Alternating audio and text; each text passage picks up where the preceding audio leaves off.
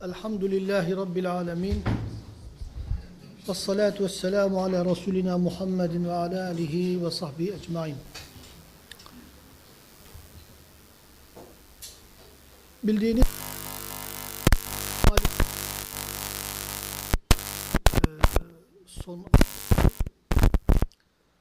özellikle yani 190. ayet-i kerime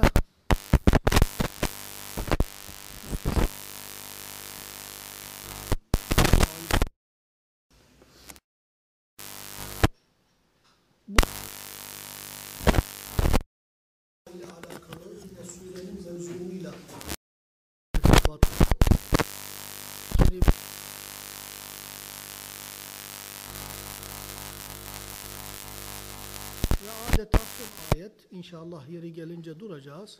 Surenin hülasasını veren birkaç kelime ile sure tamamlanıyor.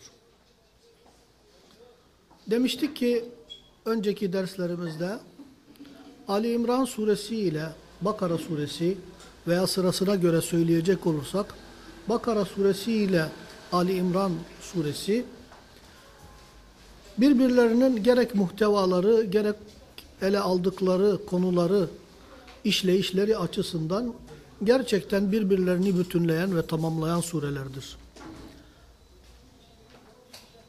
Bakara suresi Kur'an-ı Kerim'in otağı olarak nitelendirildiği gibi Peygamber aleyhissalatü vesselam tarafından Ali İmran suresi ile birlikte Bakara suresinin kıyamet gününde bu sureleri okumaya devam edeni müdafaa edecekleri belirtilmektedir. Bakara suresi de tıpkı Ali İmran suresi gibi veya isterseniz Ali İmran suresi de tıpkı Bakara suresi gibi de diyebilirsiniz. Bir dua ile nihayete ermektedir. Bu dua ile bu dua nihayette yer alan bu dua başlamadan önce yine Bakara suresinde olduğu gibi duadan önceki bir ayet-i kerime mülkün, göklerin ve yerin mülkünün, egemenliğinin, hakimiyetinin Cenab-ı Allah'a ait olduğu istisnasız olarak ifade edilmektedir.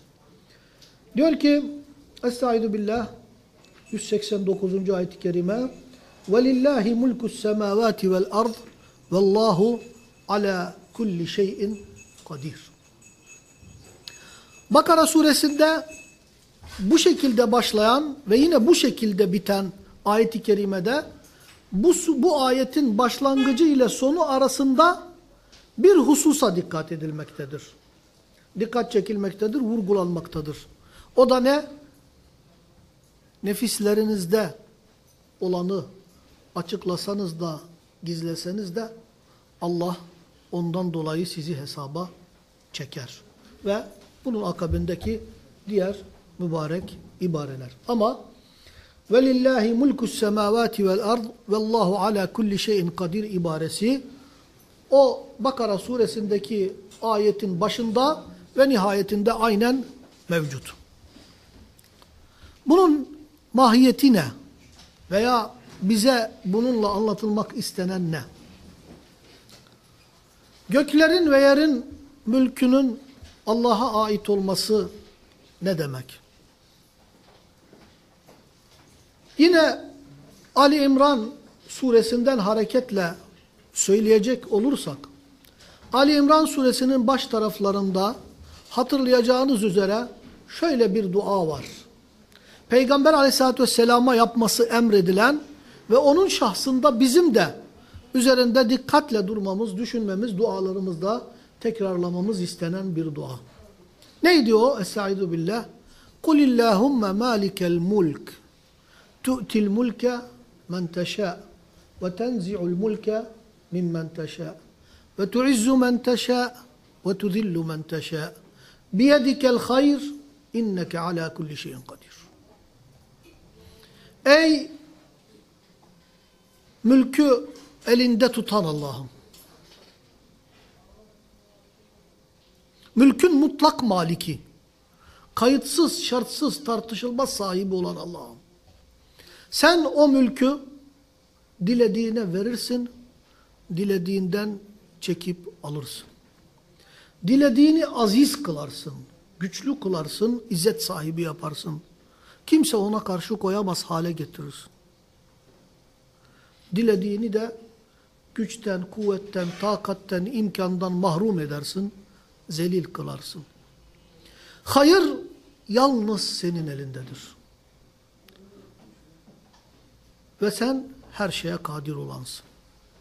Eğer bu ayetin akabi sonrası gelmemiş olsaydı ve bunu ihtiva eden anlamı dile getiren başka buyruklar Kur'an-ı Kerim'de olmasaydı diyecektik ki Allahü Teala bize göre şer olan şeyleri yaratan değildir. Haşa eski Yunan dininde Zerdüştlükte olduğu gibi hayrı bir kişi yaratır, şerri de bir kişi de yaratır diyecektik. Çünkü ayet-i kerime ne diyor sadece? Biyedikel hayr diyor. Biyedike şer demiyor. Niçin? Tabi bu biraz farklı bir konuya kayıyor ama buraya gelmişken onu da kısaca açıklayalım. Yine Peygamber aleyhissalatü vesselam dualarından birisinde bu hadistir. Diyor ki El hayru biyedeyk ve şerru leyse ileyk. Hayır senin elindedir, ellerindedir. Şer ise sana nispet edilmez. Çok önemli bir nokta. Cenab-ı Allah insanlar layık olmasalar bile hayır ve nimet ihsan eder. Hak etmeseler bile hayır ve nimet ihsan eder. Ama hak etmedikleri sürece onlara şer vermez. Onun için ayeti kerimede sadece hayır yalnız senin elindedir denilmiştir. Şerri biz isteyelim ki Allah versin. Biz şerre talip olmadıkça, şerrin üzerimize gelmesini gerektiren sebepleri yerine getirmedikçe, kısacası bu işi talep eden biz olmadıkça, Allah bizim kötülüğümüzü hiçbir zaman dilemediği için, hak etmeden bize bir şer nispet etmez. Bu hakikatleri günümüzde insanların idrak etmesine, anlayıp kavramasına o kadar çok ihtiyaç var ki. İnanın bazen musibet haberleri, facia haberlerini hepimiz olduğu gibi seyrettiğimiz zaman insanları görüyorsunuz. Bakıyorsun ki bir herif veya bir insan Allah musibet vermesin, imtihan etmesin. Ya Rabbi niçin ben? Gibi. Veya niçin ben? Ya Rabbi de demez icabında. İşte bu Allah'ın imtihan sırrını idrak etmeyişin, ciddi bir cehaletin insana söylettiği ve bu cehaleti şeytan ve iblisin, şeytanın iblisin istismarı neticesinde bizi çektiği tuzaklardır. Onun için Kur'an-ı Kerim'i ve konuyla alakalı neyse konumuz, ayetleri, buyrukları, Peygamber aleyhissalatü vesselamın irşadlarını çok iyi idrak etmemiz lazım. Mülkün Allah'a ait olduğundan bahsediyordu ayet-i kerime. Mülk bir şeye sahip olmak demektir. Bir şeyde kesin kes, tartışılmaz tasarruf yetkisini elinde bulundurmak demektir. Bir şeyde istediği gibi, istediği şekilde, istediği zaman herhangi bir kayıtlayıcı sınır ve başka bir engelleyici irade bulunmaksızın dilediği gibi tasarruf etmek demektir. Bu manasıyla mülkün maliki olan sadece Allahü Teala'dır. İnsanın mülkiyeti hiçbir zaman mutlak değildir. Ne zaman bakımından mutlaktır ne de riayet edilmesi gereken şartlar açısından mutlaktır. Zaman bakımından mutlak değildir. Çünkü biz sahip olduğumuz şeye ancak belli bir süre sahip oluruz. Allah dilediği zaman onu bize verir dilediği zaman onu bizden çekip alır. Sahip olduğumuz süre içerisinde de gerek beşeri kudretimiz itibariyle gerek Allah'ın o elimizde bulunan mülkte ilgili hükümleri dolayısıyla bizim o mülkte mutlak tasarrufumuz yoktur. O mülkü helalinden kazanacağız. Helal yollarda kullanacağız. O mülkte Cenab-ı Allah'ın gözetilmesi gerekli, gerekli gördüğü, emrettiği haklarına riayet edeceğiz. Biz bu ve benzeri şartlarla ancak malik olabiliriz. Bunlara riayet etmezsek, mülk edinelim derken veya Allahü Teala'nın bizi sahip kıldığı mülke sahip olalım derken Allah'a isyan etmiş oluruz. Bu manada elimizdeki mülkün gerçek mahiyetini ifade etmesi bakımından Hadid suresinde çok ilgi çekici, dikkat çekici daha doğrusu bir ifade var. Diyor ki وَاَنْفِقُوا مِمَّا جَعَلَكُمُ اللّٰهُ مُسْتَخْلَف۪ينَ جَعَلَكُمُ اللّٰهُ Allah'ın sizi üzerinde halife tayin ettiği, vekil tayin ettiği, belli şartlar çerçevesinde tasarruf edebilme selahiyetiyle elinize gelmesini sağladığı o mal ve mülkten Allah yolunda infak ediniz diyor. Burada müstahlefine fi bizim hiçbir mülke, hiçbir şekilde, hiçbir vakit mutlak olarak malik olamayacağımızı ifade ediyor. O malın üzerinde müstahlef kılındığınız. Yani iki manası var burada. Hem geçmişlerin, bizden öncekilerin bırakıp gerilerine bıraktığı, halif, halften geliyor. Half arka demek. Arkalarında bıraktığı mallara sahip oluyoruz. Hem de Allah bizi o malların başına vekalet yoluyla getirmiş olduğundan dolayı biz o malda müstahlefiz. Dolayısıyla mutlak manada mülk Cenab-ı Allah'ındır. Mutlak manada mülk Cenab-ı Allah'ın olduğuna göre biz de göklerin ve yerin muhtevasında yani göklerin ve yerin bir parçası olduğumuza göre melekler, cinler, bildiğimiz ve bilmediğimiz varlıklar, gök cisimleri, dünya, gezegenler, efendim güneş sistemleri, galaksiler, hatırımıza ne gelirse varlık türünden, küçük büyük, eskilerin tabiriyle zerresinden küresine kadar. Her şey Allah'ın mülkiyetindedir. O halde Allah'ın mülkiyetinde olan varlıklar da iki türlüdür. İster istemez Allah'a itaat eden varlıklar, cansız bütün varlıklar, melekler, iradesi sadece itaate yönelik olan varlıklar Allahü Teala'nın emirleri dışına çıkmazlar.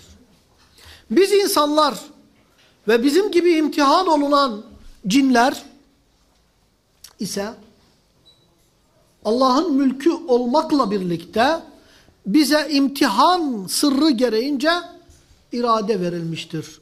Bu mülkü Allah'a ait olan bu mülkte kendimizde, kendi irademizle nasıl tasarruf edeceğiz diye imtihan ediliyoruz. لِنَنْظُرَ keyfe ta'melun. Bu işin sırrı burada. Nasıl amel edeceğinizi görelim diye. Maddi olarak ortaya çıksın.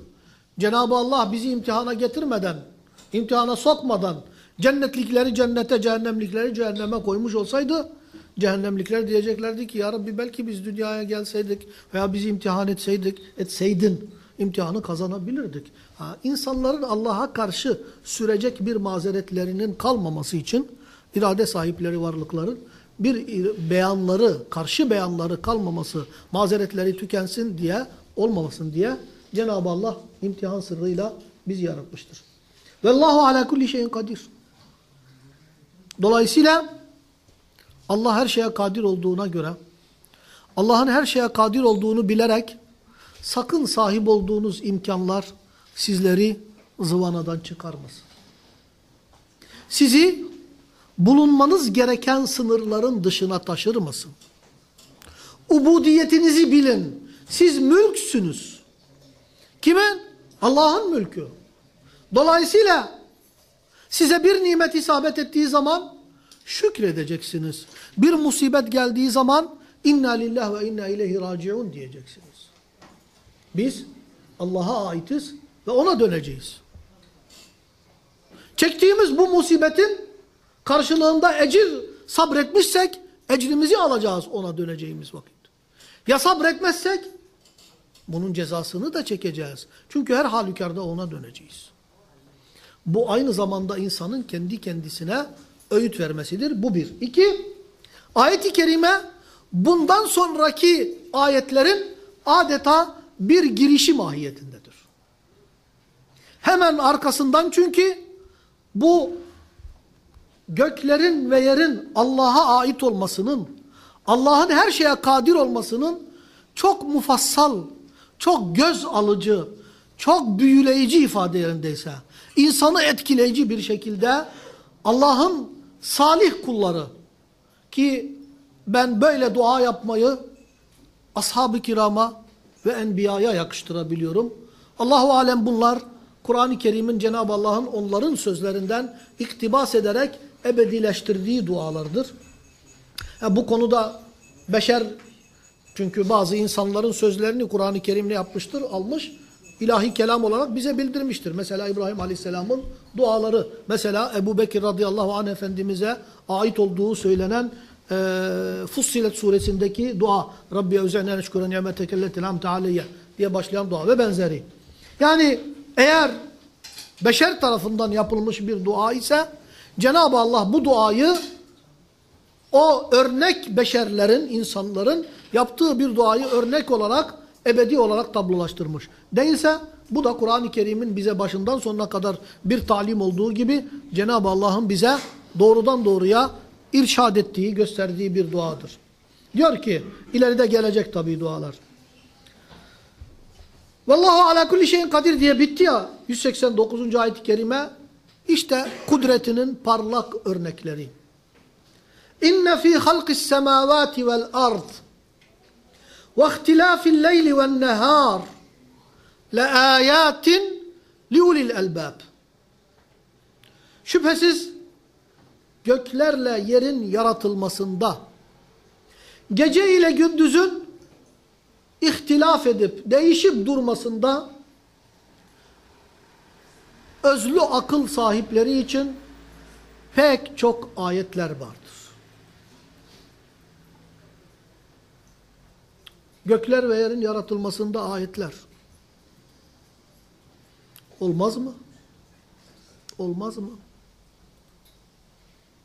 Cenab-ı Allah gökleri ve yeri yoktan, yokken var ettiklerini düşünürsek, kainatın yoktan var edildiğini ve bu müstesna varlığının kıyamete kadar bu muazzam düzenle, bu eşsiz düzenle, bu aklın, hayalin ermediği müstesna ahenkle, son derece girift, varlıkların birbirleriyle ilişkileri ve alışverişleriyle bu harikulade intizam ile devam ettikleri üzerinde fazla değil birkaç dakika düşündüğümüz zaman yapacağımız iki şey vardır. Eğer bir inkarcıysak maazallah bir an önce bu çileden kurtulmanın yollarını arayacağız. Çünkü yol inkarın çıkmaz sokak olduğunu gösteren bir yoldur. Kainat üzerinde düşündüğün zaman göreceksin ki değil bu koca kainat, bu kainattaki bir zerrecik bile kendiliğinden olamaz. Bu muazzam varlıkları ve bunların gerek kendi içlerinde gerek her bir varlığın diğer bir varlıklarla olan irtibatını, ilişkisini şerh etmek, açıklamak mümkün değil. Bir buğday tanesinin bile vücuda gelebilmesi için gerek toprağın oluşumundan tutun, güneş ışığına, buğday tanesinin toprak altındaki hallerine, toprak üstündeki hallerine, havanın terkibine sayın sayabildiğiniz kadar. Bir buğday tanesinin bile varlığı sayılamayacak kadar eşsiz mucizeleri ihtiva ederken ve bu mucizeleri bir arada bulundurmayı gerektiriyorken göklerin ve yerin yaratılmasında elbette ki sayısız ayetler, belgeler, mucizeler vardır. Başka ne, nerede var? İhtilafil leyli ve nehar. Efendim bazı meallerde gece ile gündüzün arka arkaya gelmesi doğru bir tercümedir. Doğru bir mealdir. Fakat ihtilafı karşılamıyor. Çünkü gece ve gündüz sadece biri diğerinin arkasında gelmiyor. Yeryüzünün her bir ikliminde, her bir mevsimde günden güne farklılık arz ediyor. Ve bu bir devri daim halinde ifade yerindeyse bir süreç olarak devam edip gidiyor. Bunun böyle olmasının da birçok müstesna tecellileri vardır. Varlık aleminde. Gece sadece biz canlılar için, biz insanlar için dinlenme zamanı değildir. Aynı zamanda diğer canlı varlıkların, mesela bitkilerin kendilerine gelmeleri için, gelişmeleri için gerekli bir zamandır. Hayvanlar için aynı şekilde. Gündüz de bizim için ne kadar gerekliyse bizim için ne kadar gereklidir. Gece ve gündüzün şimdikinden çok daha uzun, çok daha kısa olduğunu farz edelim. Bu konuda ilim adamlarının çok yazılmış eserleri, makaleleri, ilmi tespitleri, şeyleri, açıklamaları vardır. Gece ve gündüzün ortaya çıkması için efendim güneşin eksi, dünyanın ekseninin 23 küsur derece eğimli olması, kendi etrafında ve güneşin etrafında dönmesi, dünyanın yuvarlaklığı, bütün bunlar gece ve gündüzün değişmesinde etken olan ve daha birçok sebep hususlardır. Ve bunların her birisinin kainatın, dünyanın dengesinde ve bizim hayatımızın ve diğer canlıların hayatının devam etmesinde sayılamayacak kadar çok etkileri vardır. İşte onun için ayet-i kerime çokluğa delalet etmek üzere le ayat diyor. Sayılamayacak kadar çok ayetler. Kur'an-ı Kerim'in her bir ayetine de bildiğiniz her bir surenin belli bölümüne de ayet diyoruz. Kur'an-ı Kerim aynı zamanda kendi varlığına ve birliğine delil teşkil eden kainattaki mahlukata da ayetler diyor. Çünkü her birisi Allahü Teala'yı gösteriyor. Gücü her şeye yeten, her şeyin mülkü elinde bulunan Allah'ı gösteriyor. Celle Celaluhu ve Bu şekilde var olan ve bu varlıkları bu şekliyle, bu mükemmelliğiyle var eden Allah'ın ayetlerini okumak da okumak şerefi sıradan bir görev değil bu. Okumak şerefi de bizlere bahşedilmiş bulunuyor. Onun için laiklerin söylemleri gibi efendim insanın işte bu asırda ibadet etmesi ah geri zekalılar ah akılsızlar. Akılları bu kadar kavrayamıyorlar. Allah'a ubudiyet, Allah'a kulluk, bütün kainatla birlikte uyumlu bir şekilde Allah'a kul olmak şereflerin en büyüğüdür. Biz kainatla savaşa kalkışırsak yenilmeye mahkumuz. Ama kainatın Allah'a ibadet ettiği gibi biz de üzerimize düşeni yerine getirmek suretiyle ibadet edersek kainatın ifade yerindeyse o muhteşem, o müstesna senfonisine uyumlu bir ses olarak biz de iştirak etmiş oluruz ve bu müstesna ahengi tamamlamış oluruz. Çünkü kainat biz insanın Müslüman olması ile mükemmel vaziyetini ve halini alır. Cenab-ı Allah meleklerin endişeleri ve mülahazalarına rağmen işte yeryüzünde kan dökecek, fesat çıkartacak birisini mi yaratacaksın dedikleri doğrudur. Öyle yapmıyor mu insanoğlu? Hele günümüzde kan ve fesadı kadar dünya tarihinde görülmüş müdür yaptığı fesadın? Fakat buna rağmen kainatı ibadetiyle ifade yerindeyse bütünleştiren, tamamlayan, kainatın manasına daha bir derinlik kazandıran insanoğlunun kainattaki bu ayetleri okuması asıl kainata anlam kazanıyor. Bu anlamı kazandıranlar sayısal olarak sayıca azınlık bile olsalar muhtevaları ve kainata kattıkları anlam itibariyle değerli oldukları için Cenab-ı Allah onlardan ne diye bahsediyor? O ayetlerimi okuyabilenler onlar ulul elbaptır diyor. Özlü akıl sahipleri. Lüb bir meyvenin en tatlı, en hoş, en güzel özüne denilir. Lüb. Elbab onun çoğuludur. Lüb sahipleri. Yani kabuk mesabesinde olan sıradan bir akıl. Herkeste var. Bütün insanlarda var.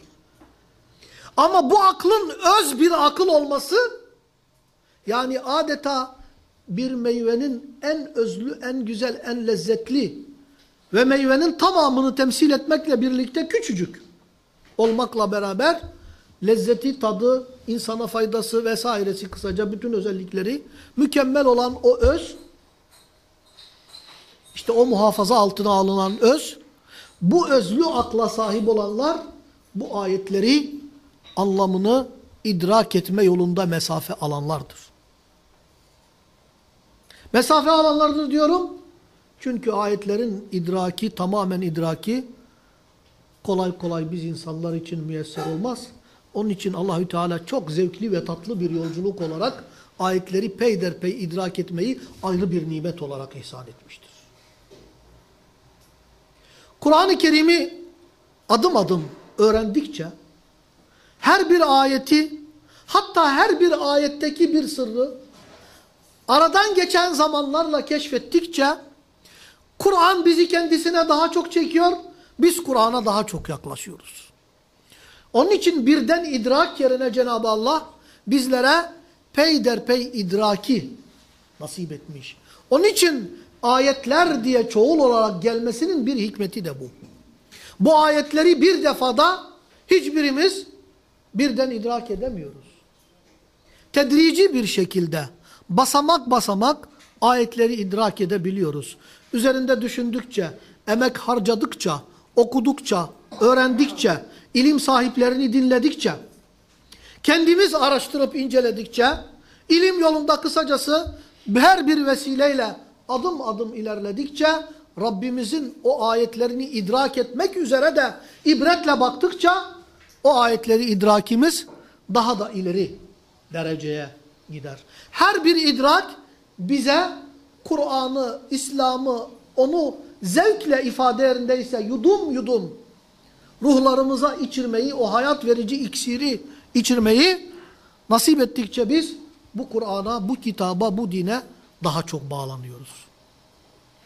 Çünkü her bir ayeti idrak etmek bizim için yepyeni bir fütuhattır. Ve her bir fütuhat ayrı bir rahmeti beraberinde celbediyor. Peki ne yapar bu ulul elbab? Bakın Kur'an-ı Kerim'in ayetleri nasıl bir zincirin halkaları gibi birbirine ne güzel şekilde bağlanıp uzayıp gidiyor. Dedik ki önce göklerin ve yerin mülkü Allah'ındır. Allah'ın gücü her şeye yeter. Arkasından bu halkaya bir başka halka geçirdik. Gökler ve yerin efendime söyleyeyim yaratılmasında gece ile gündüzün arka arkaya gelmesinde özlü akıl sahipleri için birçok ayetler vardır. Mealindeki ikinci halka geldi. Hemen bunun arkasında ulul elbabın kim olduğunu belirten halka geliyor. Ne yapar bu ulul elbab? Özlü akıl sahiplerinin nitelikleri, vasfı nedir? Bunları diğerlerinden ayıran ne ki? Cenab-ı Allah onlara ayrı bir özellik vermiş. Onlardan ayrı bir özellikle, ayrı bir sıfatla bahsediyor. Özlü akıl sahipleri. Bu akıl herkeste var. Fakat bu aklın lüb mesabesinde, öz mesabesinde olması belli nitelikleri kendilerinde taşıyanlarda buludur. Kimdir onlar, ne yapıyorlar?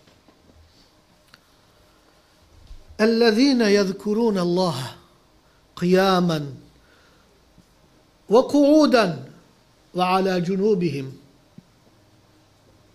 وَيَتَفَكَّرُونَ فِي خَلْقِ السَّمَاوَاتِ وَالْأَرْضِ رَبَّنَا مَا خَلَقْتَ هَذَا بَاطِلًا سُبْحَانَكَ فَقِنَا عَذَابَ النَّارِ Eğer her bir ayeti bir halkaya benzetiyorsak, ifade yerindeyse, her bir ayetin kelimesini de o halkayı oluşturan birbiriyle iç içe girmiş moleküllere benzetebiliriz. Çünkü bu ayet-i kerime de adeta kendi içerisinde ayrı bir zincir. Her bir kelime, Kur'an-ı Kerim'in tamamı böyledir inanın. Kur'an-ı Kerim'in tamamı, her bir ayet bir başka ayete. Sureden başlayalım. Her bir sure bir başka sureye. Önce çok muazzam bir zincir düşünün. Büyük halkalar birbirine geçmiş. Ondan sonra o halkaların her birisi yine istisnasız her bir küçük halka o büyük halkaların hepsine aynı zamanda bağlı olacak şekilde bir ikinci kademede bir zincir düşünün.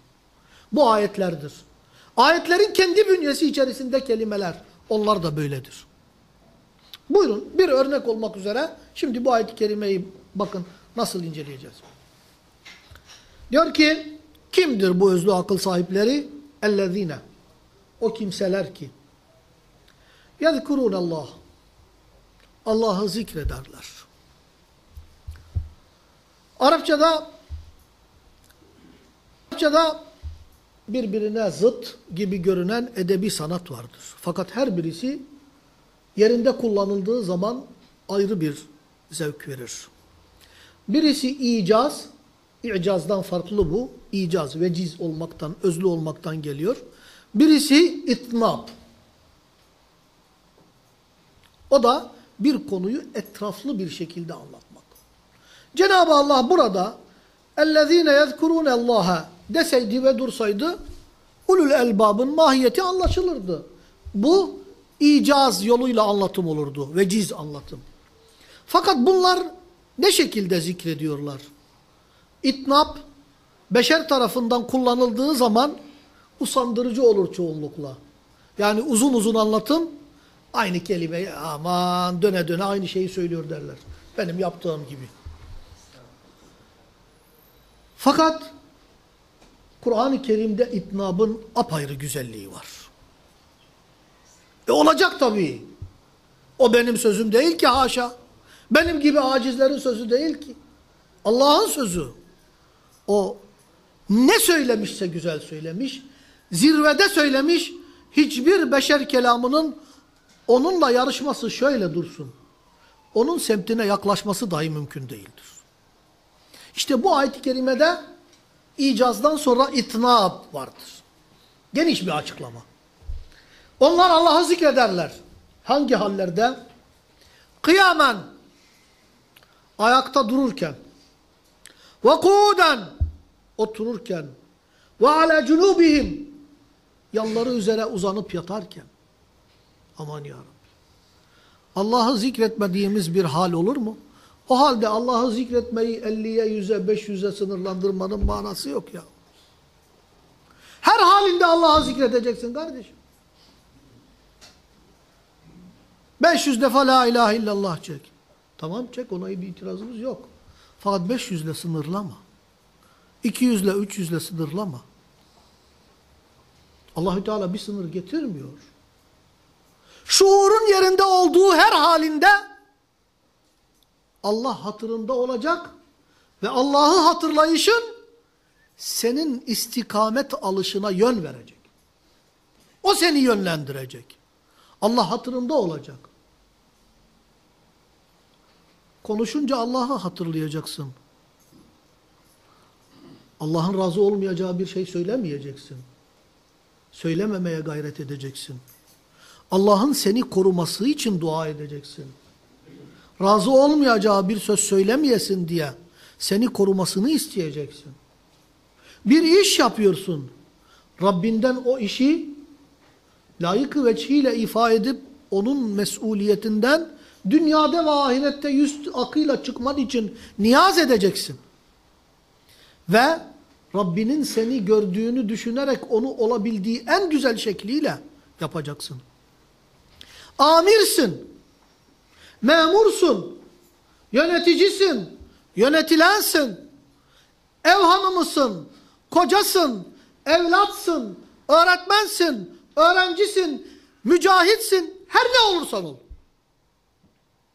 Her halinde ve her durumunda Allah'ı hatırlayarak yaptığın işi istikamet üzere yapacaksın.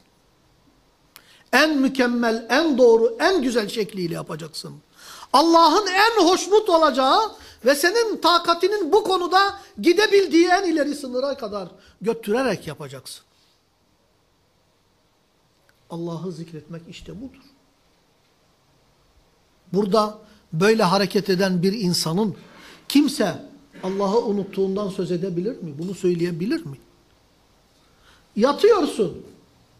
Ayet böyle diyor. Yanları üzere yatarken. Aynı zamanda ayet bize yatma uyuma edebini de gösteriyor. Ha? Öyle yüzüstü yatmak, sırt üstü yatmak ne peygamberin sünnetinde var. Tabi hastalık vesaire rahatsızlıklar ayrı bir şey. Mazeretler ayrı. Normalde Müslümanın yatışına da işaret var. Ona dikkat edilecek. Yanları üzere yatarken ne yaparlar? Allah'ı zikrederler. Yapacak hiçbir şeyleri yok. Kimseyle kimseye bir iş ısmarlamamış, bir sorumlulukları yok. Yani ifade neyse tamamıyla dinlenme zamanı. Orada da boş durmazlar. وَيَتَفَكَّرُونَ ف۪ي خَلْقِ السَّمَاوَاتِ وَالْاَرْضِ Göklerin ve yerin yaratılışı üzerinde düşünürler. Tefekkürün apayrı bir zevki, bir lezzeti vardır. Çünkü tefekkür Allah için, Allah'ın emriyle ve Allah'ın irşadıyla yapıldığı vakit insanı zikir gibi, zikir de öyledir. Burada ayet-i kerimede az önce kısaca tanımlamaya çalıştığımız çerçevede bir zikir, insanın kalbini doğrudan doğruya ifade yerindeyse Allah'a rapt eder. Allah'a bağlar. Onun için tefekkür çok zevkli bir ibadettir. Apayrı bir neşesi vardır. İnsanı öyle bir coşturuyor ki arkasından ne kadar her şey mükemmel de diyor sana. Hayran kalıyorsun kainata. Allah'ın yarattıklarına canlı, cansız, küçük, büyük, semavi, arzi, görünen, görünmeyen her bir varlık üzerinde düşündüğün zaman dersin ki Rabbena ma halakte hâzâ batila. İşte tefekkürün varması gereken nokta budur. Rabbimiz sen ne bunu, ne onu, ne de başkasını, hiçbir şeyi batıl olarak yaratmadın. Boşuna yaratmadın. Bu kainatta boşuna yaratılmış hiçbir şey yoktur. Abes hiçbir şey yoktur. Biz o kainatın varlığının, o kainattaki varlığın hikmetini, varlık sebebini bilsek de bilmesek de. Bu böyledir. Bizim bildiğimizi başkaları bilmez. İcabında başkalarının bildiğini de biz bilmeyiz. Ve bütün kainatın gelmiş ve geçmişlerin aralarında peygamberlerin dahi bütün mahlukatın ilmi bir araya gelecek olsa bir kuşun gagasıyla denizden alacağı damlanın denize nispeti neyse o kadar mahlukatın ilmi Allah'ın ilmine nispetle o bile olmaz. Bunu ben söylemiyorum. Peygamber aleyhissalatü vesselam Musa ile Hızır aleyhisselamın efendim, gemide yolculukları esnasında bir kuşun denizin e, deryadan, koca deryadan bir damla su gagasıyla artık ne kadar almış. Alması üzerine yaptığı bir benzetmedir bu. Bir benzetmedir. Rabbimiz sen bunların hiçbirisini boşuna yaratmadın. Bakınız.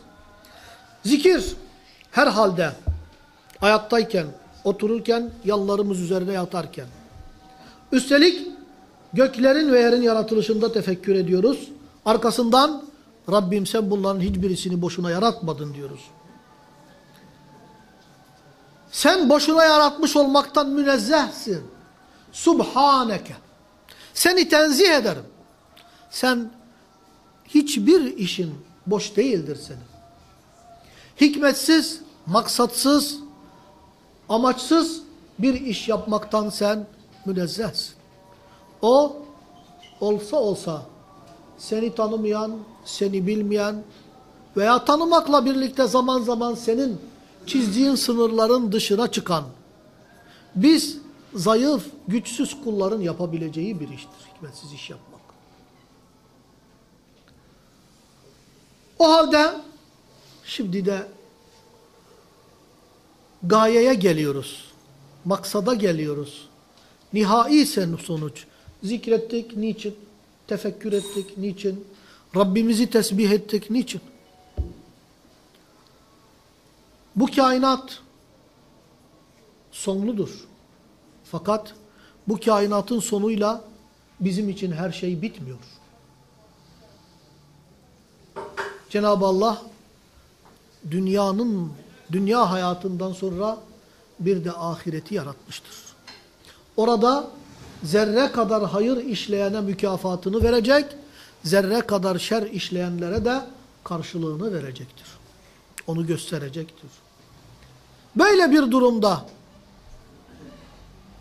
bu azameti tefekkür ederken bu kullar Allah'ı tesbih ettiler, zikrettiler, tefekkür ettiler. Cenab-ı Allah'tan bizi cennetine koy demediler burada. Ya ne dediler? Seni bütün bu kainatta batıl boş bir iş yapmaktan tenzih ederiz. Fakat insanların çoğunluğu bizim bu idrak ettiğimizi maalesef idrak etmiyor. Sen bizi onlarla birlikte cehenneme koyma dercesine bizi cehennem ateşi azabından koru diye dua ediliyor. Diye dua ediliyor. Çünkü eğer diyor ayet-i kerime estaizu billah وَلَوْ يُؤَخِذُ اللّٰهَ بِمَا كَسَبُوا مَا تَرَكَ عَلَى ظَهْرِهَا مِنْ دَابَّةٍ diyor. Eğer Allah insanları kazandıklarından dolayı, yaptıklarından dolayı sorgulayacak olursa günahlarının baskın oluşundan ötürü yeryüzünde canlı hiçbir varlık bırakmazdı. O kadar baskın günahları var ki Adem oğullarının buna rağmen bunca ayetlere, bunca belgelere, akla rağmen işte bundan dolayı bu kullar bunun da idrakindedirler. Tefekkür ediyorlar çünkü. Tefekkür ettikleri zaman bakacak ki kulların azami hali maalesef bütün ayetlere ve belgelere rağmen ayetler ve belgeler okunmuyor. Allah anılmıyor. Tesbih edilmiyor. Tenzih edilmiyor. Dolayısıyla bu isyanın neticesi ne olur? Cehennem azabı olur. İşte büyük çoğunluğa isabet edecek olan bu cehennem azabından bu tefekkür eden özlü akıl sahipleri diyorlar ki Rabbimiz sen bizi artık cehennem ateşi azabından koru diyorlar. Dua devam ediyor surenin sonuna kadar. Ee, biz bu dersimiz için muhtat olan zamanı bitirdik. Fakat dua devam ediyor. İnşallah bundan sonraki derslerimizde duanın geri kalanını kaldığımız yerden devam ettireceğiz. Cenab-ı Allah'tan bizleri de göklerin ve yerin yaratılışı, değişip durması üzerinde düşünüp bu ayetleri fark eden, yatarken, kalkarken, ayaktayken, onu zikredip göklerin ve yerin yaratılışında tefekkür eden, Rabbinin yarattıklarındaki hikmetleri idrak eden ve bunun için cehenneme doğru götüren değil de sürekli olarak cennete yakınlaştıran amellerde bulunan kullarından hepimizi bütün ümmeti Muhammed'i eylemesini niyaz ederiz. Tekrar Cenab-ı Allah'ın kitabı ve dini hakkında olmadık şeyleri söylemekten bizleri daima korumasını, muhafaza buyurmasını niyaz ederiz. سبحان ربك رب العزة عما يصفون وسلام على المرسلين والحمد لله رب العالمين.